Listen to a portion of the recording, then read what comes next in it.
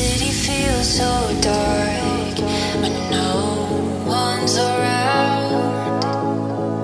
We're